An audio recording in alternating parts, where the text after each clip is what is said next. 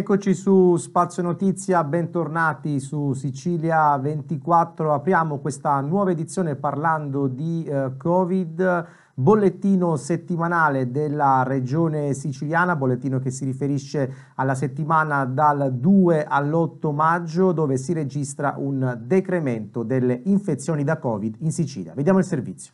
Nella settimana dal 2 all'8 maggio si registra un decremento delle nuove infezioni da Covid in Sicilia lo dice il bollettino settimanale della regione siciliana.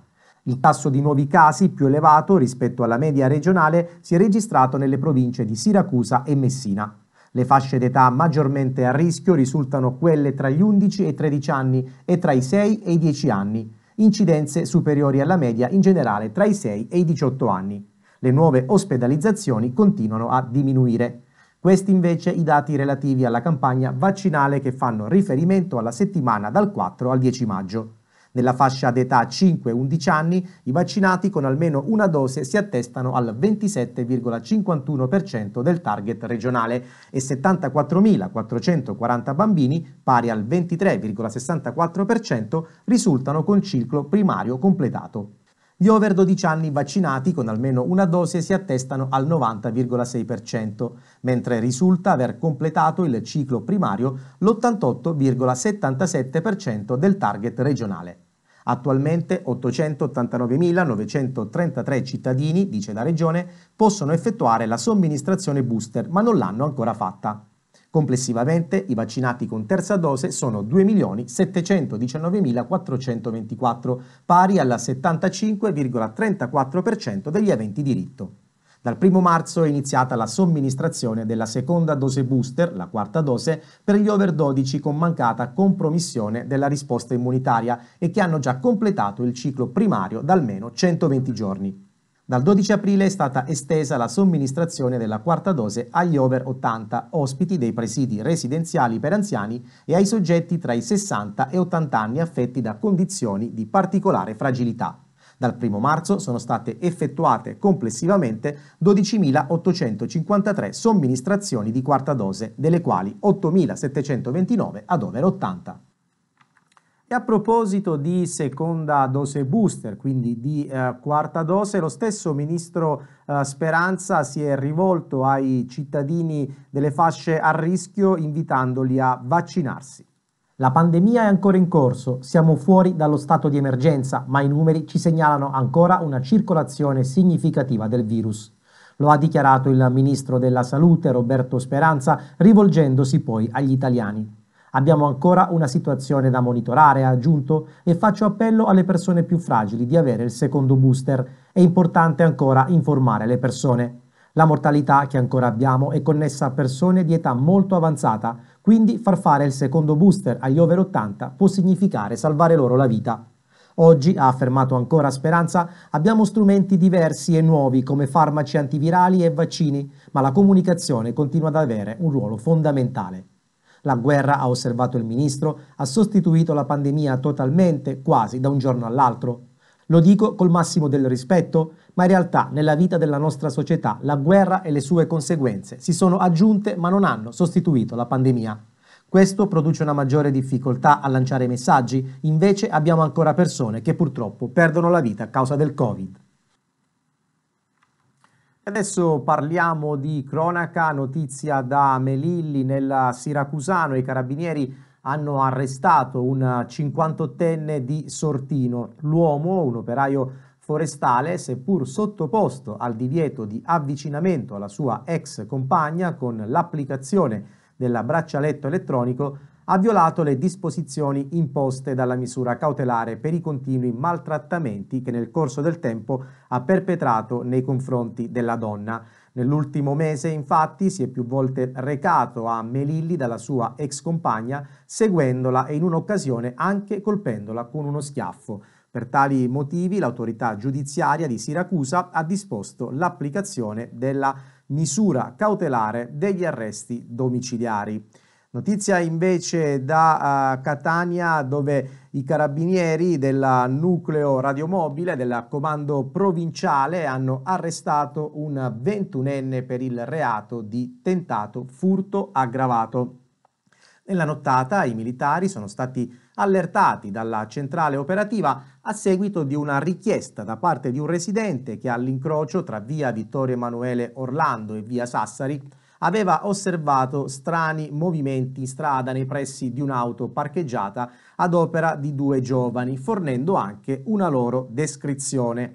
L'equipaggio della Gazzella, recatosi sul posto, ha individuato e sorpreso i due giovani tra cui il ventunenne ancora al lavoro su una Mercedes. Il palo è riuscito a scappare, mentre il suo complice è stato bloccato e arrestato dai carabinieri che lo hanno trovato accovacciato accanto alla Mercedes con le mani ancora sporche di grasso. Dunque è stato beccato sul fatto questo giovane ladro a Catania.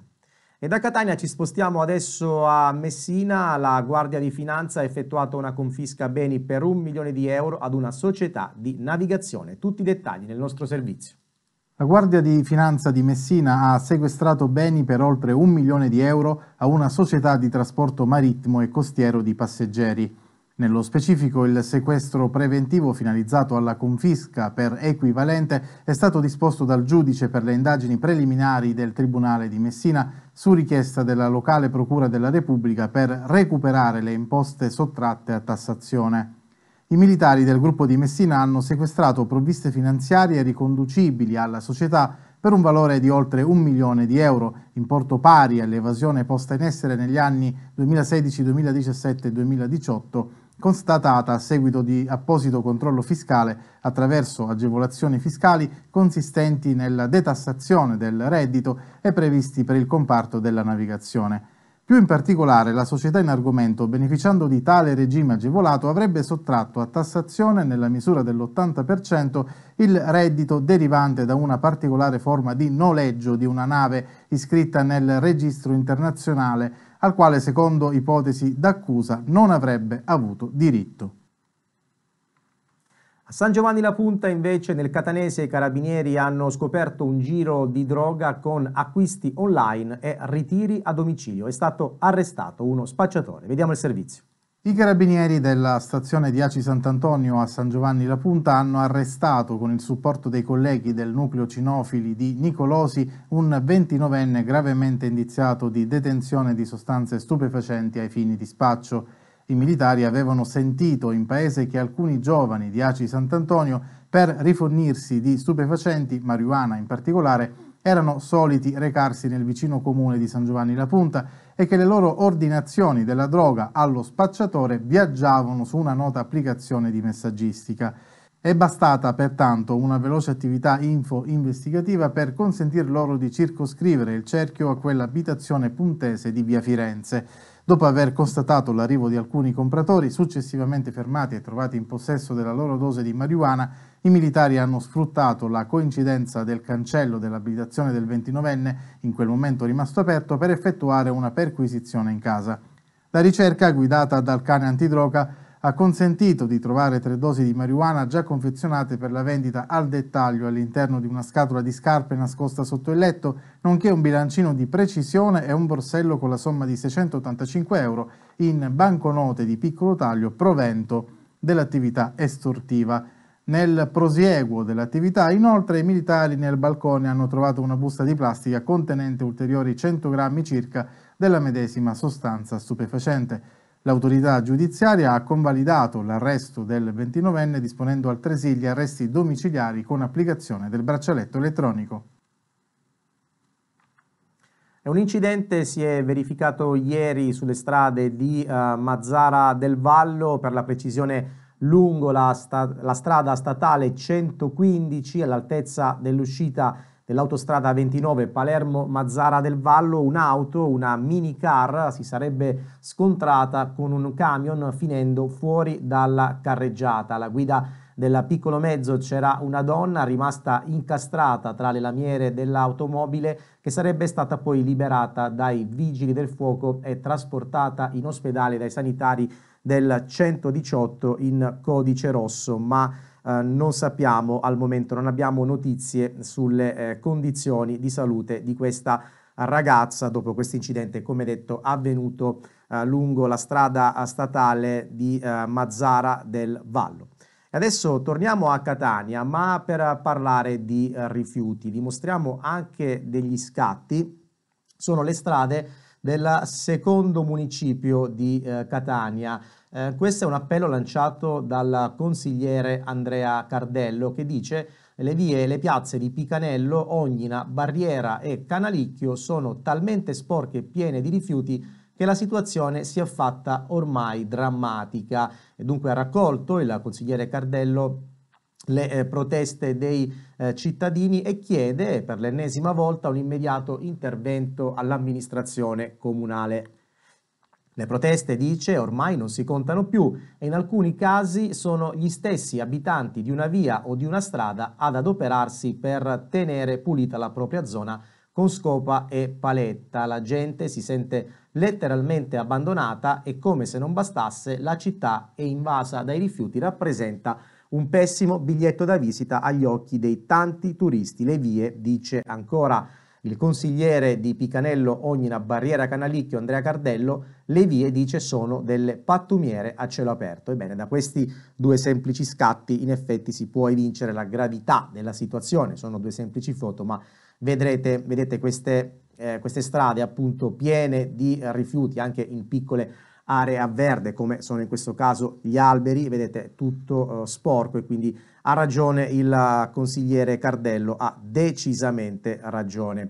Ma adesso vogliamo parlare di una bella notizia, mentre eh, si continua a combattere ancora in uh, Ucraina e sono lontane ancora le notizie e le possibilità di una trattativa per la pace, nonostante gli interventi, non ultimo quello di uh, Draghi negli Stati Uniti. Dicevamo, mentre in Ucraina si continua a combattere, ci sono storie belle, positive, che partono dall'Ucraina per arrivare poi in Sicilia e questo è il, il caso di quello che vogliamo raccontarvi oggi, appunto questo arrivo in Sicilia finalmente al sicuro di 63 bambini eh, ucraini sono arrivati a Trapani, si tratta di bambini evacuati da uh, diversi orfanotrofi di Mariupol e Kramatorsk, quindi parliamo di Donetsk, eh, sono accompagnati chiaramente da 21 adulti, compresi anche eh, tutor dei ragazzini, anche alcuni educatori. Sono stati accolti, vedete, dagli scatti all'aeroporto di Trapani, c'erano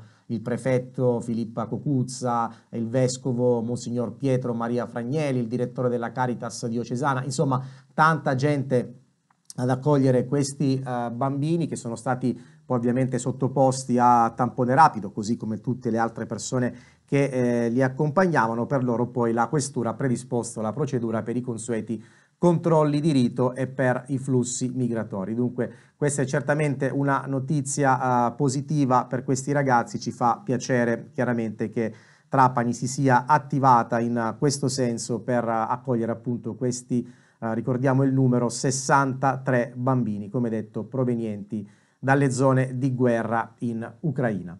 Eh, prima di chiudere vogliamo ricordarvi una importante iniziativa, anzi un importante evento conosciuto certamente in tutta la Sicilia come l'infiorata di Noto, vedrete che si svolgerà dal 13 al 17 maggio, quindi ci siamo in via eh, Nicolaci, la, il tema della 43esima edizione sarà dedicato al ventennale dell'iscrizione alla lista UNESCO del Val di Noto. Il 29 giugno del 2002 infatti l'UNESCO iscriveva tra i siti patrimonio dell'umanità le otto città tardo-barocche del Val di Noto, Caltagirone, Catania, Modica, Noto, Palazzo Lacreide, Ragusa, Militello, Val di Catania e Scicli. Dunque è tutto pronto a Noto per questo importante evento conosciuto ovviamente da tutta la Sicilia e non solo, sicuramente accoglierà in città tanti, eh, tanti turisti, tanti curiosi e quindi tutto è pronto, come detto, a noto per la celebre infiorata.